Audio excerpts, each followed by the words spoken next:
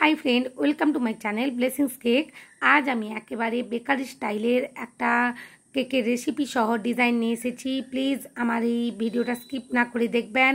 আর বাড়িতে একটা পারফেক্টভাবে এরকম চকলেট কেক বানাতে পারবেন। আর যদি ভালো লেগে থাকে আমার এই চকলেট কেকের রেসিপি আর ডিজাইন চ্যানেলটা সাবস্ক্রাইব করবার অনুরোধ জানালাম। আর লাইক শেয়ার কমেন্ট করতে ভুলবেন না বন্ধুরা।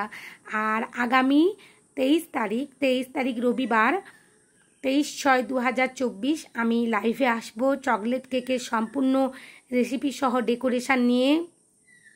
প্লিজ বন্ধুরা লাইভে থাকবেন।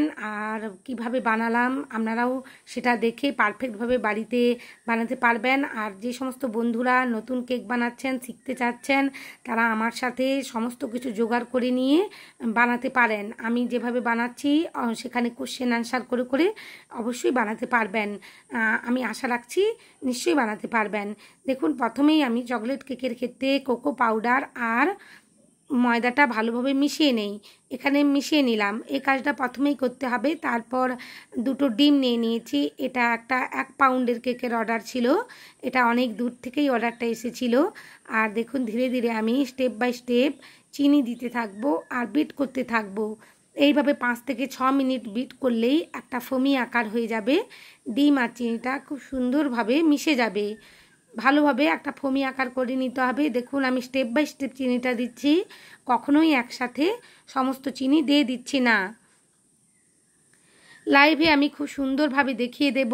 আর যার যে কোশ্চেন আছে, যে সমস্ত বন্ধুদের, যারা নতুন কেক বানাচ্ছেন বন্ধুরা আপনারা লাইভটা যোগ করে যদি আমার সাথে একসাথে কেক বানান পারফেক্টভাবে একটা স্পঞ্জ রেডি করতে পারবেন আর কেক বানাতে পারবেন।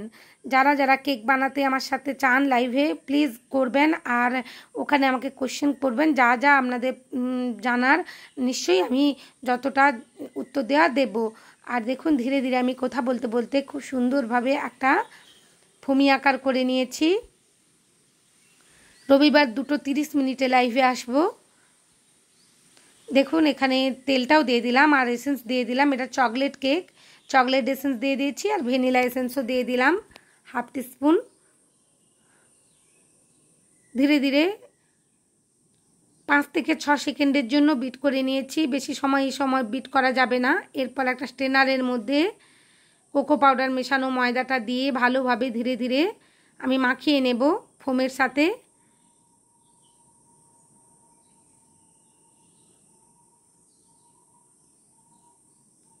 যারা কেক বানাতে চাচ্ছেন, নতুন কিন্তু বিভিন্ন কারণে কোর্সটা করতে পারছেন না, আমার লাইভ ক্লাসে যোগ করলে অবশ্যই পারবেন। আশা রাখছি, কারণ সেখানে আমি পারফেক্টভাবে দেখানোর চেষ্টা করেছি। ফার্স্ট লাইভ ক্লাসটা খুব ভালোভাবেই হয়েছে। আর থ্যাংক ইউ আমার সাথে থাকার জন্য বন্ধুরা। আর আমি রবিবার আসব, অবশ্যই থাকবেন, আশা রাখছি। আর দেখুন, এখানে আমি চকলেট কেকটা বেক করে নিয়ে চলে এসেছি। ধীরে ধীরে আপনাদেরকে মোল্ড আউট করেও দেখিয়ে দেবো। একেবারে লেয়ার কাট করতে যে সমস্ত বন্ধুদের অসুবিধে হয়, তাদের আমি লেয়ার জন্য এই ভিডিওর মধ্যে লেয়ার কাটটাও রেখেছি। তাদের জন্য একটা ব্রেন নাইফ দিয়ে উপরের অংশটা বাদ দিয়ে দেব। এরপর ধীরে ধীরে তিনটে লেয়ারে খুব সুন্দরভাবে আমি কেটে নেব। কেকের স্পঞ্জ খুব নরম হয়, খুবই সাবধানে কাটতে হবে, নাহলে ভেঙে যাওয়ার সম্ভাবনা থাকে। দেখুন, তিনটে লেয়ারে ভাগ করে নিয়েছি, এরপর একটা কেক নিয়ে নিয়েছি। তার মধ্যে একটু ক্রিম লাগিয়ে নিলাম। এখানে যেহেতু আমি চকলেট কেক বানাচ্ছি, তাই ভীষণভাবে চকলেটই চেয়েছিলেন যে স্যার আমাকে ফোন করে অর্ডারটা দিয়েছিলেন। সেই জন্য আমি এখানে ক্রিমের মধ্যেও একটু চকলেট গানাশ মিশিয়ে নিয়েছি। এটা মোস্ট চকলেট কেকের মতন লাগবে, যে আমরা মোস্ট কেকগুলো বানানোর সময় ক্রিমের মধ্যে অনেকটাই গানাশ দিয়ে দেই। আর এই ক্রিমটা খেতে অসাধারণ হয়। এভাবে একবার অবশ্যই বাড়িতে বানাবেন বন্ধুরা। হোয়াইট যে ক্রিম আমরা উইপ করি, তার মধ্যে তিন চার টেবিল স্পুন ভরে ভরে যদি গানাস দিয়ে ক্রিমটা রেডি করা হয়, খুব সুন্দর টেস্ট হয়। আর উপর থেকেও আমি ওয়ান টেবিল স্পুন করে গানাস দিয়ে দিচ্ছি। আর চকো চিপস দিয়ে দেব। এইভাবে আমি তিনটে লেয়ারই বানিয়ে নেব। চকলেট কেকগুলো এভাবে যদি বানানো যায়, খেতে সত্যি অসাধারণ হয়। একবার অবশ্যই বাড়িতে বানাবেন। আর বাচ্চারা তো চকলেট কেক খেতে খুবই পছন্দ করে। নিশ্চয়ই বাড়িতে একবার বানাতে হবে। আর এই স্পঞ্জের মধ্যে দেখুন ওয়ান টেবিল স্পুন গানাস দিয়ে দিলাম। গানাসের রেসিপি আমি অলরেডি দিয়ে রেখেছি আমার চ্যানেলে আমি ডিসক্রিপশান বক্সে গানাশের লিঙ্কটা দিয়ে দেব গানাস ভিডিও লিঙ্কটা আপনারা দেখে পারফেক্টভাবে একটা গানাশ বানাতে পারবেন।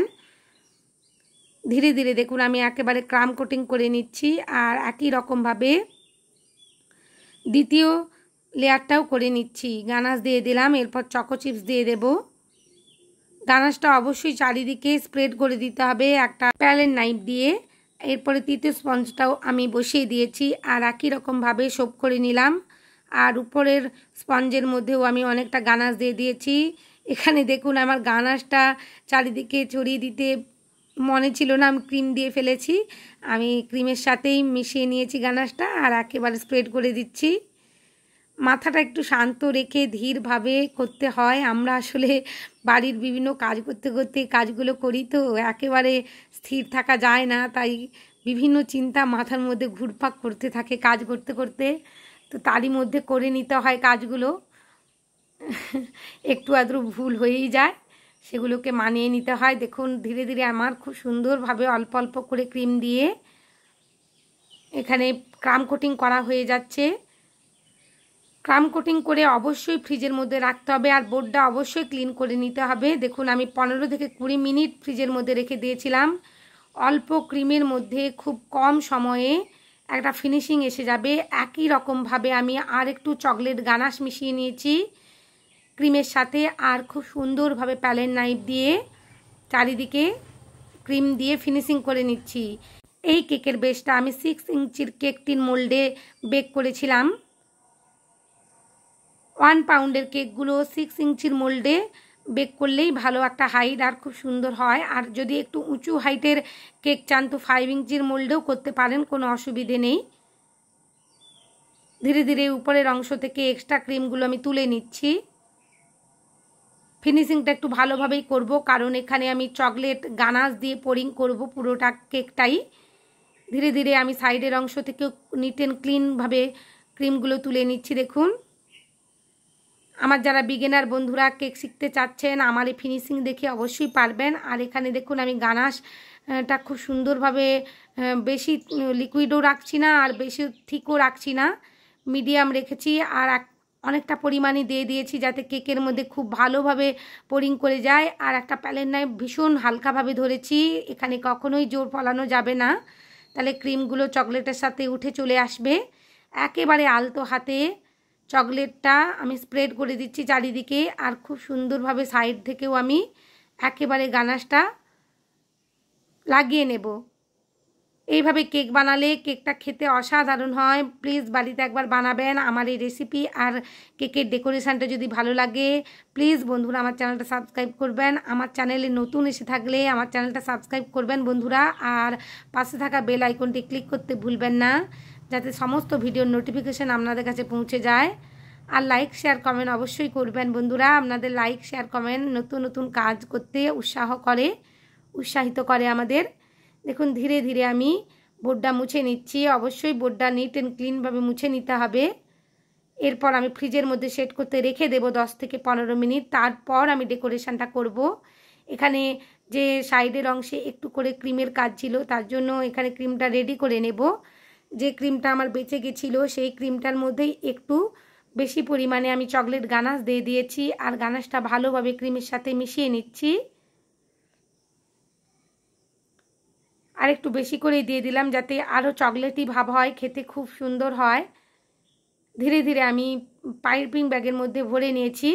আর একটা ফর্টি সিক্স নোজেল নিয়ে আর যে সে জিনিসগুলো দিয়ে ডেকোরেশান করব সেটাও দেখিয়ে দিলাম। দেখুন আমি এখানে পাইপিং ব্যাগের মধ্যে চকলেট ক্রিম, যে ক্রিমটা মিশিয়ে নিয়ে ভরে নিয়েছি। এরপর ধীরে ধীরে দেখুন ফর্টি সিক্স নোজেল দিয়ে একটা ডিজাইন করে নিচ্ছি। সমস্ত কিছু জোগাড়গুলো আগে করে নিতেই হবে। আমি ডেকোরেশানের জিনিসগুলো আগে জোগাড় করে নিয়েছি। যতক্ষণ পর্যন্ত কেকটা ফ্রিজের মধ্যে সেট হচ্ছিল। একটার পর একটা কাজ ঠিক প্ল্যান মাফিক করে নিলে খুব কম সময়ে খুব সুন্দরভাবে একটা কেক রেডি করতে পারা যাবে।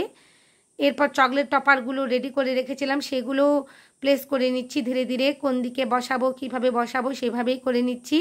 আর কেকটার মধ্যে অনেকগুলো মেসেজ ছিল। স্যার আমাকে অনেকগুলো, চার পাঁচটা মেসেজ লিখেছিলেন। আমি বোর্ড বোর্ডের যে চারিদিকটা ছিল, কেকের যে অংশগুলো ফাঁকা, চারিদিকে আমি মেসেজে ভর্তি করে দিয়েছিলাম। উনি আমাকে বলেই ছিলেন ওনাদের কেকটা খুবই পছন্দ হয়েছিল। রিভিউ এসেছিল। দেখুন, ধীরে ধীরে আমি চকলেট টপারগুলো বসিয়ে দিচ্ছি। চকলেট টপার বসানোর সময় কোনো রকমের কঞ্জুস করবেন না। কারণ যদি একটা দুটো টপার কাস্টমারের কাছে বেশি যায়, তাতে কোনো ক্ষতি নেই। আমাদেরকে কাস্টমার স্যাটিসফ্যাকশানটার দিকটাও দেখতে হবে। আমি এই কেকটা বানিয়ে খুবই খুশি হয়েছি, কারণ ওনাদের খুবই পছন্দ হয়েছিল। আর চকলেট টপারে আমি ভরে দিয়েছি। একটা পারফেক্ট চকলেটি কেক রেডি হয়ে গেছে।